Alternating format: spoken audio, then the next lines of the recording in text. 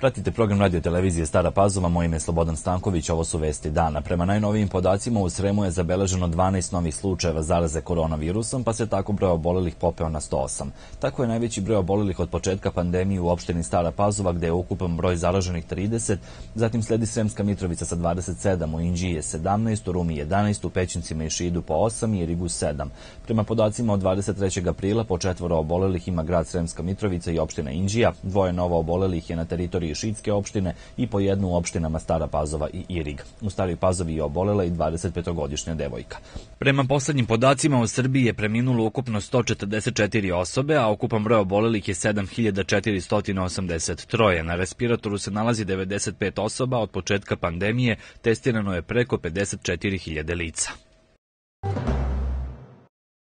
Policijski čas danas će početi u 18 časova i trajaće do ponedeljka u 5 časova ujutru. Stariji od 65 godina i danas su mogli da obave kupovinu u za to predviđenim objektima sve do 7 časova. Dozvolu za kretanje u vreme policijskog časa imaju pripadnici vojske, policije, zdravstveni radnici i zaposleni koji imaju adekvatnu najnoviju potvrdu od firme koja ih je prijavila kod Ministarstva privrede, ali i poljoprivrednici u traktoru i pčelari sa adekvatnom dokazom da poseduju pčelinje gazdinstvo. Takođe, ukoliko postoji potreba da se starijoj ili bolesnoj osobi koja je sama ukaže pomoć, dozvoljeno je da do dve osobe u toku policijskog časa to učine, pružaju pomoć ili je otprate do medicinske ustanove. Isto važi i za negovateljice i gerontodomaćice. Sve osobe uhvaćene da krše meru zabrana kretanja biće osuđene u skraćenom postupku na novčanu kaznu iznosu od 50 do 150 hiljada dinara i na kaznu zatvora.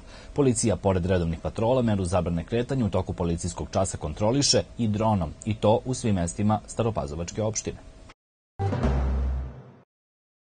Na teritoriji opštine Stara Pazova u toku je tretman suzbijanja larvi komaraca. Zaprašivanje se vrši preparatima koji nisu opasni za pčele. Tretman je počeo u 8 sati, realizuje se sa zemlja, prskaju se lokaliteti u Staroj i Novoj Pazovi, Vojki i Krnješevcima. I to pre svega staništa larvi komaraca koja su uglavnom kod bara, kanala i drugih vodenih površina. Prskanjem će se zahvatiti površina od ukupno 80 hektara i sprovodi ga firma Ekosan iz Beograda na osnovu ugovora između Pokrajinskog sekretarijata za urbanizam, graditeljstvo i zaštitu životne sredine i opštine Stara.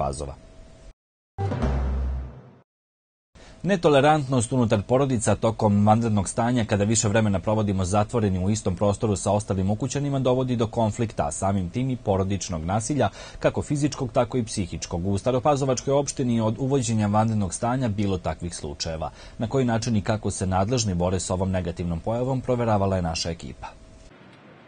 Od početka uvođenja vanrednog stanja na teritoriji opštine Stara Pazova zabeleženo je 12 slučajeva porodičnog nasilja, od kojih jedan nije procesuiran s obzirom na to da je od strane policijskog službenika utvrđeno da ne postoji neposredna opasnost od nasilja. S tim u vezi Staropazovački centar za socijalni rad postupao je u 11 prijavljenih slučajeva, od kojih je u 8 nasilje ponovljeno, a u 3 slučaja nasilje se dogodilo prvi put. Uglavnom se to savjetodavno i informativni razgovori obavljaju putem telefona, gde od stranaka dobijamo informacije vezano za o, poštovanje hitnih mera od strane nasilnika, e, dobijamo obaveštenje o tome o njihovoj ukupnoj bezbednosti i podatke o materijalnim i porodičnim prilikama u kojima one trenutno žive. Mi procenjujemo i stepen rizika u kojem je žrtva se nalazi, ukoliko se proceni da je visok stepen rizika, mi onda informišemo osnovno javno tužilaštvo u, u smislu da bi ovaj, se pokrenuli određeni postupci prema nasilniku. Svih 11 hitnih mera izrečenih počiniocima nasilja su produžene na još 30 dana, a u dva slučaja je određeni pritvor. Bez obzira na vanrednu situaciju i odlaganje većine sudskih postupaka,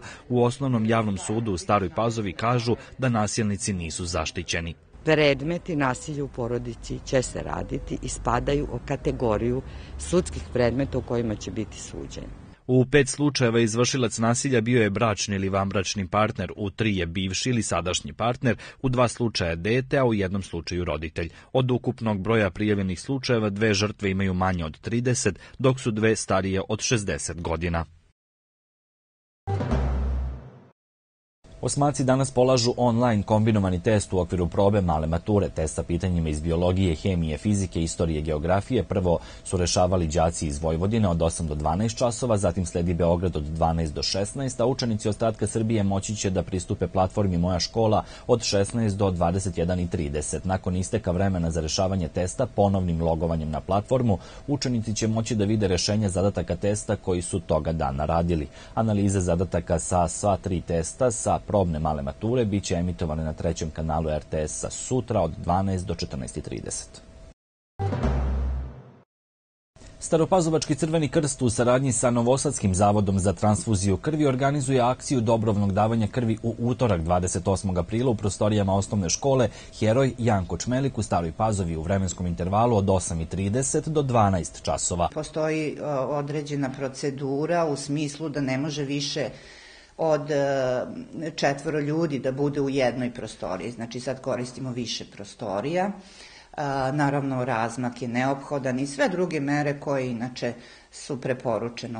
U ovim okolnostima ne može dati krv neko ko je bio, kažem, kao što sam rekla, 28 dana uh, za, unazad u kontaktu Da li je putovao, ne znam, ali da li je bio u kontaktu sa bilo kim uh, je, uh, ko je zaražen COVID-om ili postoji čak i sumnja da je zaražen. Zatim ne mogu do, kao i, u normalnim okolnostima ne, možu, ne mogu dati mlađe od 18, stariji od 65, neki koji su ovaj, na kraće od 7 dana uzimali neke antibiotike. Naročito bih istakla, krv ne mogu dati oni koji su preležali COVID, znači nekih narednih tri meseca od drugog negativnog testa. Za dobrovoljne davaoce i medicinsko osoblje preduzete su sve neophodne mere i higijenski uslovi u zaštiti od koronavirusa. U pitanju je treća u nizu akcija koja se organizuje od uvođenja vanrednog stanja, a do sada je humanost u prethodne dve akcije pokazalo preko 30 građana. Preporuka je da se potencijalni davaoci jave putem broja telefona 062 801 3110.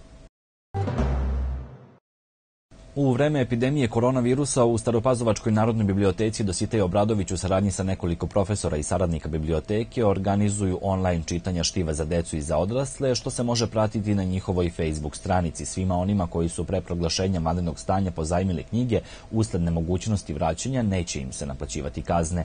Iz ove ustanove obaveštavaju da će i dalje biti obustavljen direktan rad sa korisnicima, jer još uvek ne postoje minimalni i neophodni uslovi za rad, a da se istovremeno sačuva zdravlje zaposlenih i korisnika. Radi se na obezbeđivanju neophodne zaštitne opreme i sredstava, kao i uslova za početak i protokola rada u ovim uslovima. Sve ovo je podređeno osnovnom cilju, funkcionisanju i radu biblioteke uz očuvanje zdravlja korisnika i zaposlenih. Te kada se obezbede i sprovedu sve mere zaštite, biblioteka će nastaviti sa radom, o čemu će javnost biti blagovremeno obaveštena.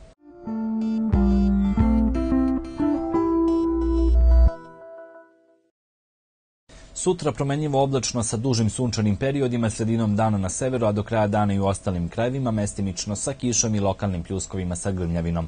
Vetar slabi umeren južni i jugozapadni, od sredine dana u pojačanju i skretanju na zapadni i severozapadni. Najniža temperatura od 3 do 11, najviša dnevno od 21 do 24 stepena. Očekivane biometeorološke prilike izazvaće uobičajene tegobe kod većine hronično obolelih i osetljivih osoba. Opre se savetuje astmatičarima i psihičkim bolesnicima. Bolovi u zglobovima i mišićima su mogući kao meteoropatske reakcije. Učesnicima u saobraćaju se preporučuje povećanje koncentracije. Pratili ste vesti, ostanite kod kuće, prijatno.